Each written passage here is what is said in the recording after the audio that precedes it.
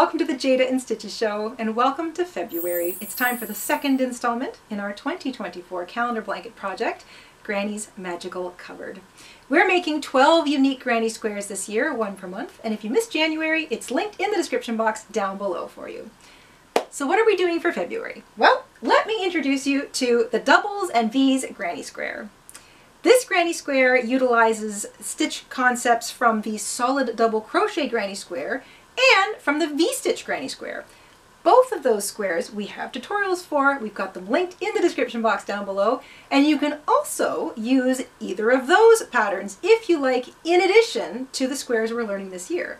Just remember, if you're going to include those other squares, to use the same hook, the same kind of yarn, and to make them the same number of rows. And we'll talk row count in a second. The doubles and V square has a really neat solid look and open work, and they sit opposite each other, which gives it kind of a, an hourglass shape, or Mr. InStitches says he sees arrowheads.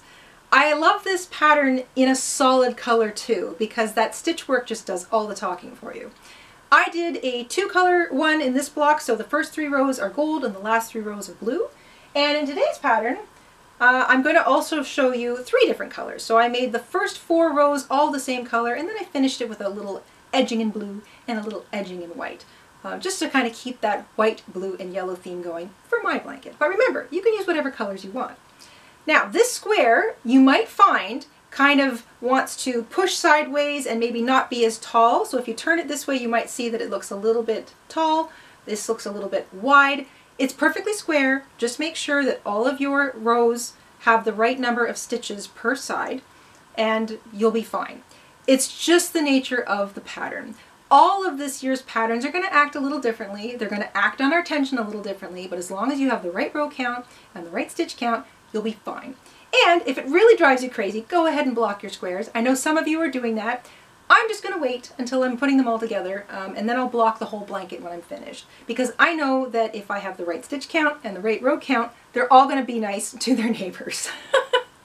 Some of you have been asking whether or not it's okay if your squares are a little bit smaller or a little bit larger. You've been asking if you can add rows or not. And in last month's video, we did say that we would tell you if a square can size up infinitely or not. All of the squares in this year's blanket pattern can be made six rows as I'm making them, seven, eight, nine, even 10 rows if you want to go up that high. That's perfectly okay. Um, and it's not going to change the look of the pattern. All of them will scale up a little bit more than say just the six rows that I'm doing. But some of them don't scale up infinitely and we're always going to let you know if they do or don't. This particular pattern will infinitely scale up if you want to keep making it larger and larger and larger. But because of the nature of this particular pattern, I build it going always in the same direction. And if you want to make it more than nine or 10 rows, then instead of always going in the same direction, you might want to look at reversing direction for every row. That will just help keep the natural lean that kind of occurs in a square if you always go in the same direction and you keep making it bigger and bigger and bigger. The lean isn't a big deal. It does drive some people crazy, and I just want you to be aware of that if you were going to make this a whole lot bigger. But anything up to nine rows, even 10 rows, is still going to look perfectly fine if you just make it in the same direction like I do for the six rows that I show you in today's tutorial. I will explain this a little bit more in today's tutorial, but I wanted to say that up front because I know a lot of you are experimenting with different sizes and different row counts. And one more thing about rows.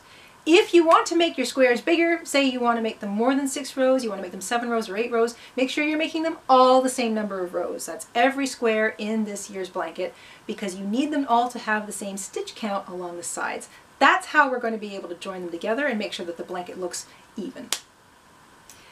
Don't if you'd like a written pattern to go along with today's tutorial, you'll find it over in our Etsy shop. We've got that linked in the description box down below. And a gigantic thank you to everybody who has popped in and picked up a pattern recently. Your support of our show goes an awful long way. Thank you so much. So let's grab our hooks, grab our yarn, we'll head on over to the craft table, and we will stitch up the doubles and V's granny square together. In order to make our February square, you're going to want to use the same hook and yarn you've been using for the previous square if you're joining all these together into the same project. I'm using a size 4 medium weight acrylic yarn. You need about 40 yards total for a single square. So if you're going to use all one color, it would be 40 yards of one color, but if you're going to break it up, it will affect how much of each color you need. You're going to want a pair of scissors, a yarn needle. I prefer to use some stitch markers on my corners just to keep track of where I am. And the hook I'm using is a five and a half millimeter, also known as an I or a nine. And once you've got all that together, we can get started. Granny squares are worked from the center outwards. So whatever color you want for row one, which is the middle of your square, you're going to grab that. Now you can alternate colors every row. You can do the whole thing one color. You can do it half and half like I've done here. Today I'm going to use three colors, but I'm going to make most of my square yellow. So my first four rows will be yellow, row five will be blue, and row six will be white. I'm going to show you how to change colors, but it's basically the same as we did last month. If you want to change colors, the easiest thing to do is to just fasten off at the end of the row and join your new color in a corner. I'll get to that when we get there. Let's start with a slip knot on our hook. We're going to chain five and we're going to join with a slip stitch to the first chain to make a ring. And that ring should fit over the top of your finger. We're going to begin with a chain of four.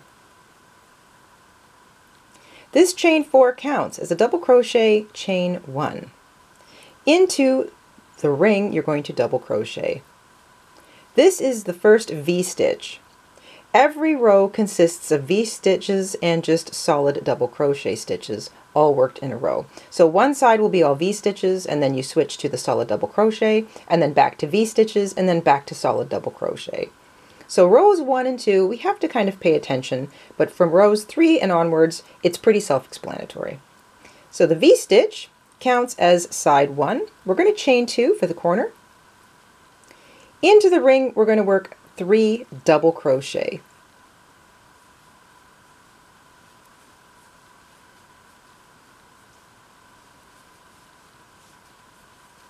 So that's side two. I recommend if you have trouble keeping track of your corners, to just go back and put a stitch marker on the chain 2 corner. Chain 2 for corner number 2. And into that ring we're going to work a V-stitch. Double crochet, chain 1, double crochet. Now I'm working over top of my short tail. You don't have to do that. You can always wait until the end to weave in your tails, but I just find it quicker and more efficient to work over top of them. I am marking my chain 2 corner space with another stitch marker so I can keep track of them. Chain 2, this becomes corner number 3, and 3 more double crochet all into that ring.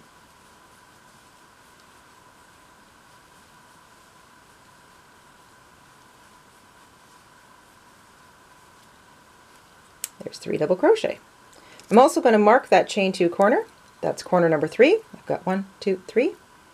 I have a V-stitch, three double crochet, a V-stitch, and three double crochet. They're all separated by chain twos, which means I need to chain two more to make corner number four before I join with a slip stitch to the third chain. So one, two, three, find the third chain and join with a slip stitch. And before I do anything else, I'm going to mark out that corner because this pattern has a lot of extra little spaces in it and it can be a little confusing for the first couple of rows. So I'm going to put it down, I'm going to find those corner spaces and just pull them out so I can see my little square beginning. If you wanted to change colors at this point, after joining with a slip stitch to the third chain of the chain four, you could snip your yarn, fasten off, weave in your tail if you wanted or leave it till the end, and then rejoin your new color in this corner over here. But that's only if you're changing colors and I'm not ready to do that just yet.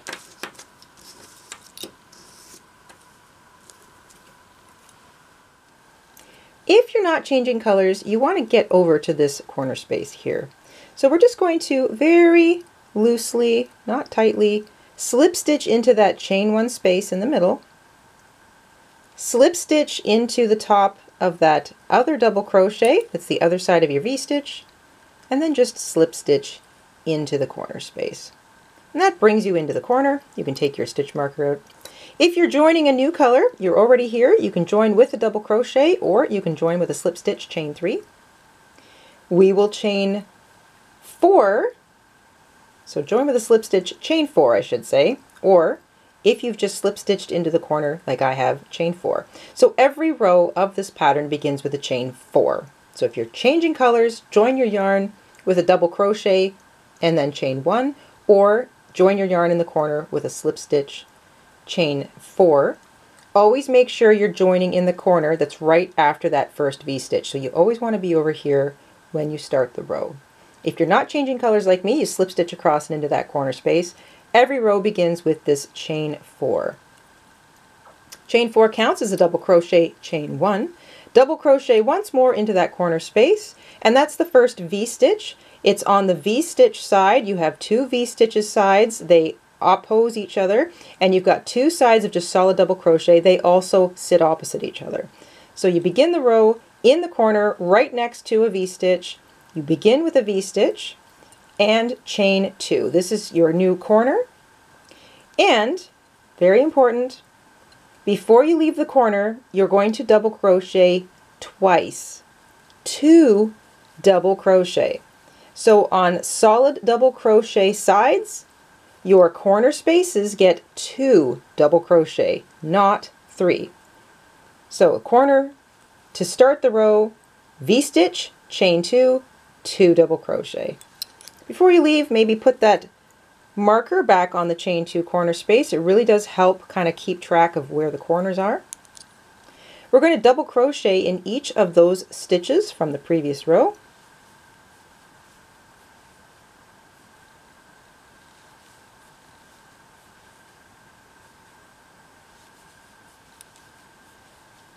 That brings us up to a corner. It's nice to have it marked. Into the corner space on the solid double crochet side, you work two double crochet. So just to keep track, on the solid double crochet side in row 1 you had 3 double crochet. On the solid double crochet side in row 2 you'll have 7 double crochet on both sides when you're finished row 2. Your V-stitch side starts with a one V-stitch in row 1 and you'll have 2 V-stitches in row 2. We'll explain that a bit in a moment. Chain 2, that creates your new corner. Now you are on a V-stitch side, so you work double crochet, chain 1, double crochet into that corner space. That's your V-stitch. Before you leave, put your little stitch marker back. On V-stitch sides, when you are working across the side, you want to chain one for a little spacer. That just gives you a little bit of room to breathe as you hop over top of the V-stitch below.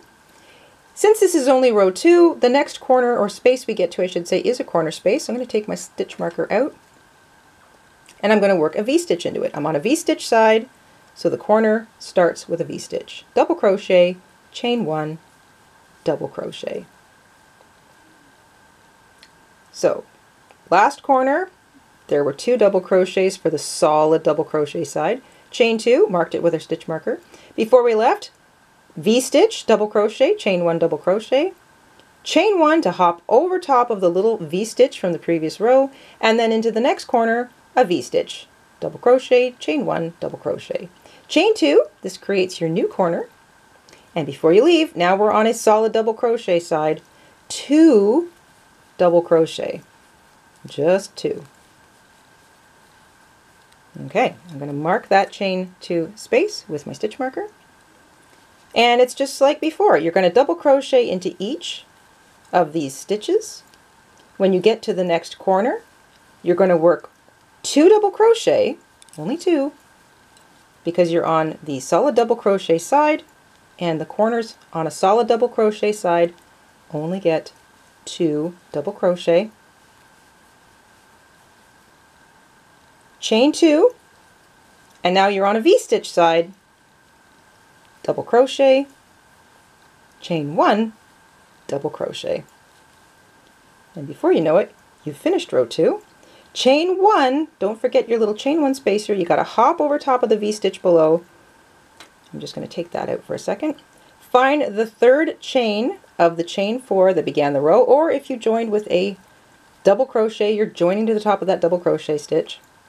I'm going to put my stitch markers back in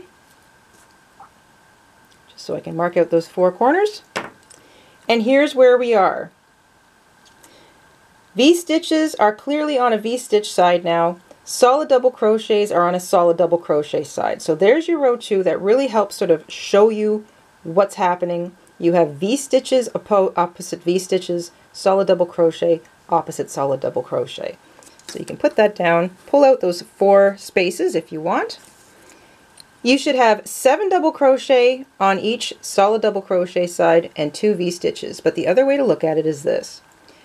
Excluding your chain two corner spaces, you should have seven stitches here and seven stitches here. Double crochet, chain one, double crochet, that's three. The chain one in the middle, four double crochet, chain one, double crochet, that's three more, that equals seven.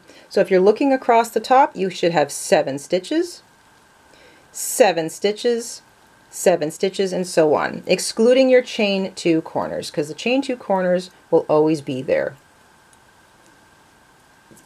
If you're changing colors, you can fasten off. Join your new color with either a slip stitch chain four or a double crochet in the corner space. Remember, it's the corner space after your V-stitch. If not, you can slip stitch across into that chain two corner and we'll start there. For row three, if you're joining your yarn, you can join it in this corner here with a chain four or a double crochet, whatever's comfortable for you. If you're not changing colors, you're just going to slip stitch across and into that corner space. So don't make your slip stitches too tight. Take that chain stitch marker out of there. There we go. And here we go. Chain four, Chain 4 counts as a double crochet, chain 1, and double crochet once more into the same space. It's a V-stitch to start the row. We're on a V-stitch side. Chain 2. That brings us to a solid double crochet side. The corner space gets two double crochet. Always two double crochet in the corner on the double crochet, the solid double crochet side. So you, it's bumpered with two double crochet, double crochet in every single stitch, and then two double crochet in the next corner before you chain two, and then you're at a V-stitch side, so you start with a V-stitch, chain one, V-stitch in the middle, chain one, and so on. Well, I'll catch up, I'm getting ahead of myself here. We're going to double crochet in every single stitch all the way across. When you're leaving the corner on a solid double crochet side, pull back to make sure you expose the top of that first stitch you don't want to miss it.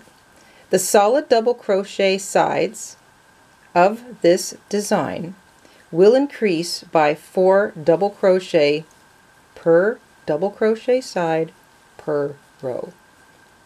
So the solid double crochet side will always increase by four, and you know that because two double crochet go into the corner on either side of all these lovely solid double crochet stitches.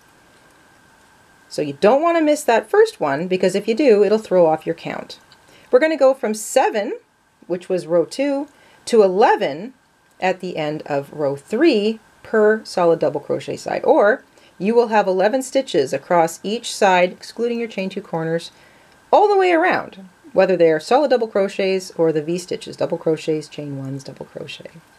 So that's how you know you're on the right track. I'm going to put my stitch marker back in my corner over here.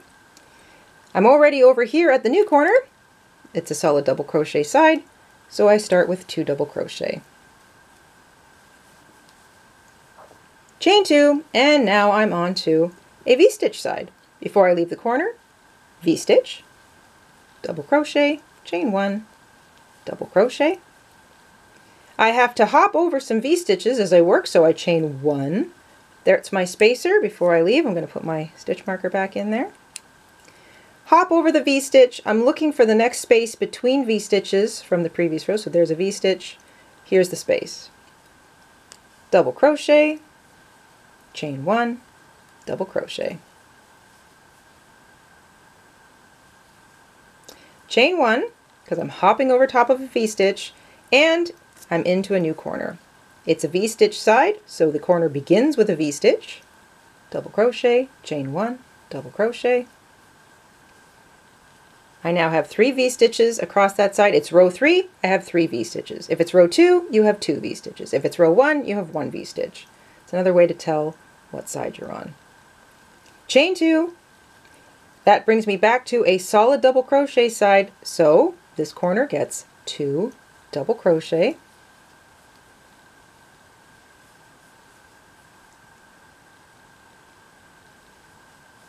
And before I leave, I want to pull back a bit so I can expose the top of that stitch. I don't want to miss it. I'm going to double crochet into each of those seven stitches all the way across. While I think of it, I'll put my stitch marker back in my corner space there.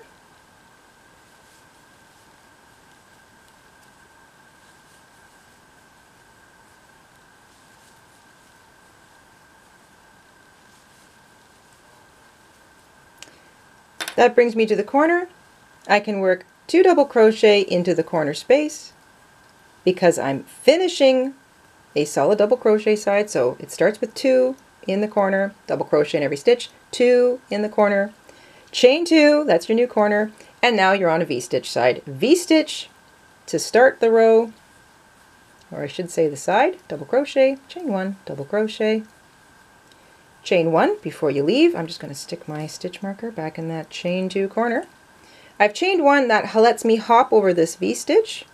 I'm going to work the final V-stitch of the row into that space between V-stitches, chain one, and then you want to finish the row by joining with a slip stitch to the third chain, or if you joined with a double crochet to the top of the double crochet. Pull out your four corners, you can really see this open work versus solid work expanding. I just love how this looks. I have one more row of yellow before I change color, but if you want to change color, fasten off and join your yarn in that corner space next to the V-stitch. From here on out, it is very self-explanatory uh, what to do. So if it's a V-stitch side, you know you're working V-stitches. If it's a solid double crochet side, you know you're working solid double crochets. Each V-stitch side gains one new V-stitch per row per side. So we go from three on the side in row three, we'll go up to four on the side for row four. It's always exactly the same opposite. You're going to gain four new double crochets on a solid double crochet side per side per row. So this is 11 double crochets at the end of row three add four, you'll be up to 15 double crochets on the side, the exact same on the opposite side.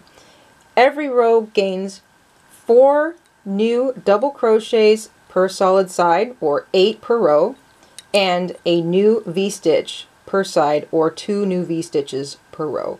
So that's how it goes, and the pattern itself doesn't really change.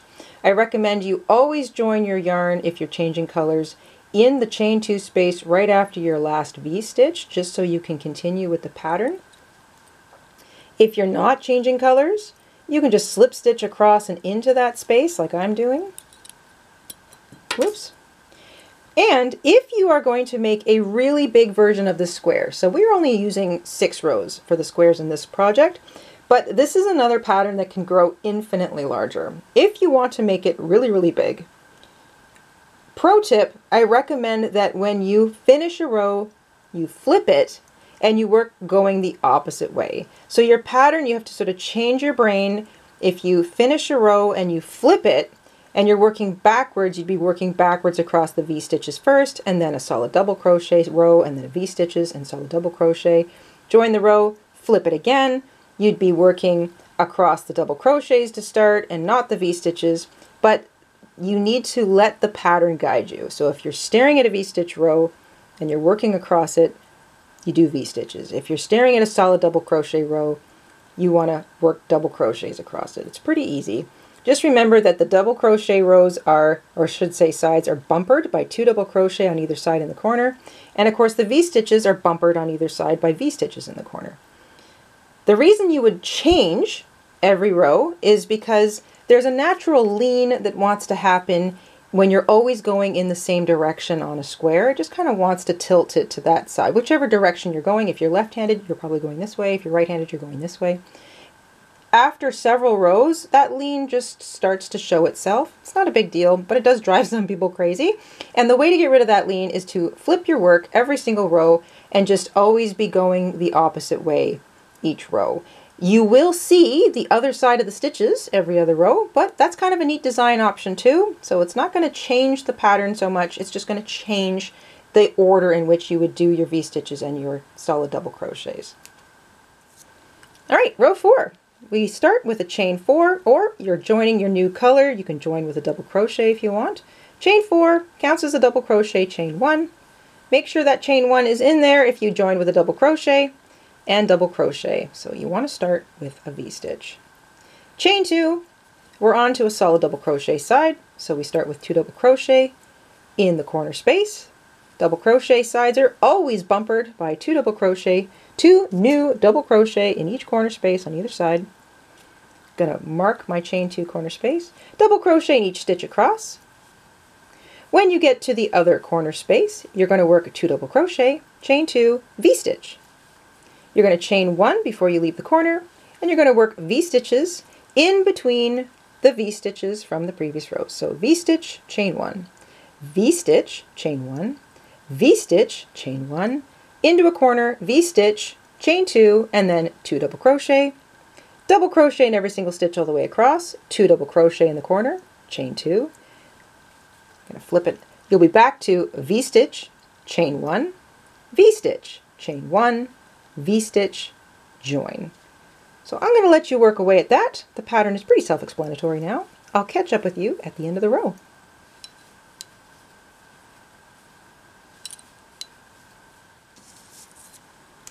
At the end of row four, you should have four V-stitches per side, four chain two corners marked with your stitch markers, two new double crochets in each corner space, bumpering your double crochet sides, your solid double crochet sides, and each side should have 15 stitches, excluding your chain two corners, 15 stitches, that's your double crochets and your chains, 15 stitches, 15 stitches. So that's how that should look. I am now changing colors. So I'm going to snip my yarn. Fasten off. And I'm just going to pull this yarn across and into my chain two corner space just so I can kind of work over it a little bit. This also isn't necessary, it's just something I kind of like to do because I like to weave in my tails, so to speak, or work over top of them as I go. So I'm going to leave my little stitch marker out of the corner. Here's my corner. I'm going to join my new yarn now. I am opting for blue now. So we're going to take our yarn, start with a slip knot. You can join with a, a double crochet if you want, or if you're like me, a slip stitch and chain four in the corner space that's after that last V-stitch. So I'm joining with a slip stitch. I'm going to chain four. If you didn't change colors, chain four. Chain four counts as a double crochet, chain one, double crochet once more into that corner space. So you've started with a V-stitch. You're on the V-stitch side, that's a V-stitch. Chain two. I'm going to work over top of my short tails, two double crochet into the corner space because you are now on a solid double crochet side. Every solid double crochet side needs to be bumpered by two double crochet in either chain two space on both sides. I'm going to put my stitch marker back in the corner. Remember to pull back on that stitch so you don't miss the top of it. Double crochet in each stitch all the way across. You'll have 19 double crochets on the solid double crochet side. And we're on row 5, so you'll have 5 V-stitches on the V-stitch sides. So that's a good way to make sure that you're on track. You can either count the double crochets as you go, or just pause at the end of the side and make sure you've got 19. When you get to the corner, it's two double crochet, chain two, and then V-stitch, because you're on a V-stitch side. Chain one before you leave the corner, V-stitch, chain one, V-stitch, chain one, V-stitch, chain one, V-stitch, chain two, because you're in the corner. Start that with two more double crochet in the corner before you leave, double crochet in every single stitch all the way across. Two double crochet over here, you'll have 19 double crochet by the time you're finished with that corner two. Chain two, V-stitch, chain one, V-stitch, chain one, and so on. It is the same pattern repeating itself, and I am just freshening up the colors. I will let you work away at that, and I will see you at the end of row five.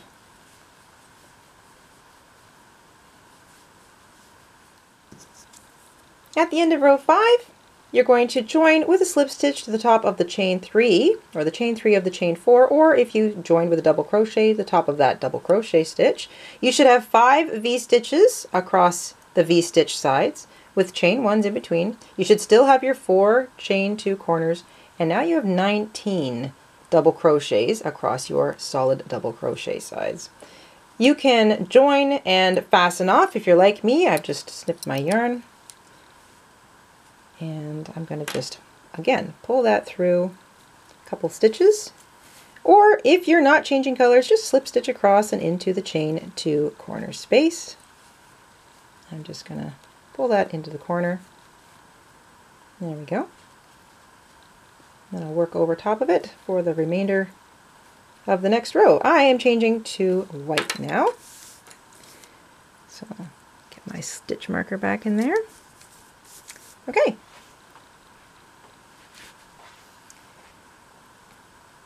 This is row six, it's the last row. There is nothing different about the pattern. We begin the row in the chain two corner space after your last V-stitch.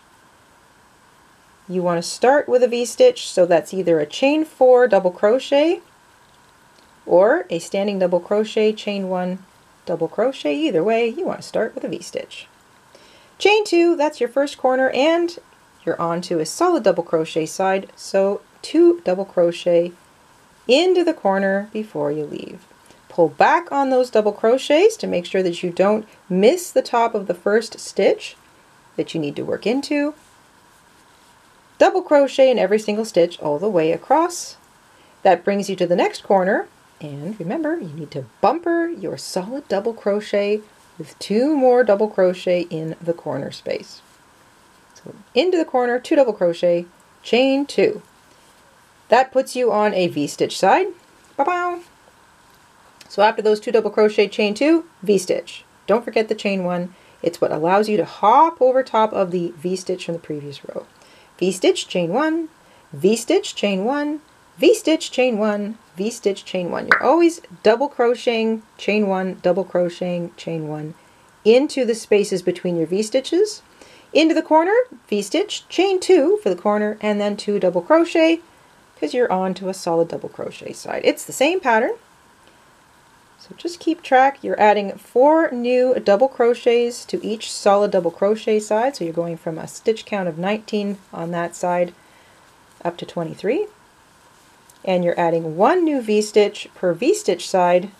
You'll have six V-stitches per side because it's row six. I will let you work away at row 6. I will catch up with you at the end and we will quickly review the square.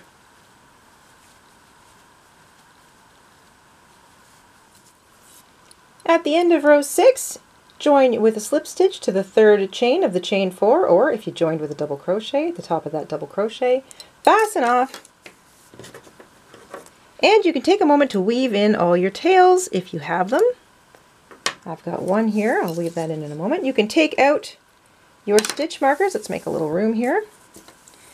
And because of the way this pattern exists, you might find it helpful to just pull out your corners and do a little light blocking with your hand to kind of get it to square up. You are more than welcome to block your squares before you join them, especially if you like to look at a stack of nice neat squares. Um, I will not be doing any official wash and block or steam blocking until the entire project is put together. But that's just my uh, personal choice. You can do whatever you like.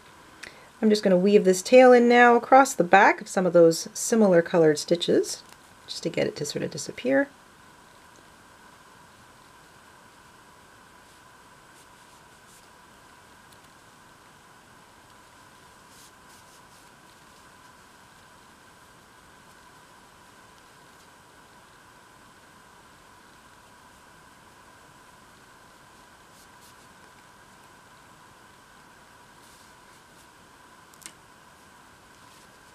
And one more ought to do it.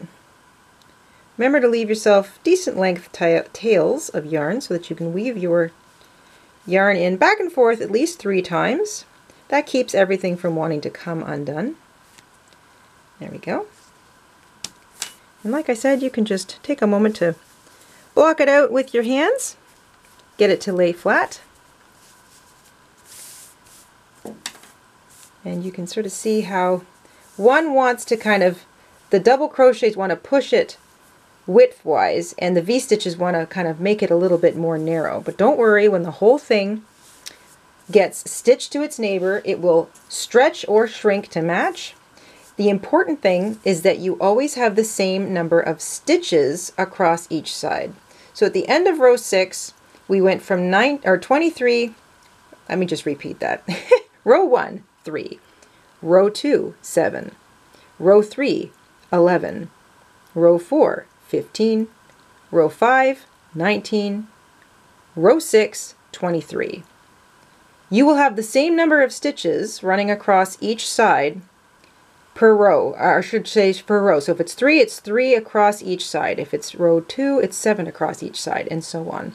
Always just don't include your chain two corners. The chain two corners are the same throughout every single square in this entire pattern. But you want to make sure that row six has 23 stitches across each side, excluding those chain two corners. So even if it looks a little bit funny before it's blocked or it's stitched together, as long as you've got the right stitch count, it'll match its neighbor square.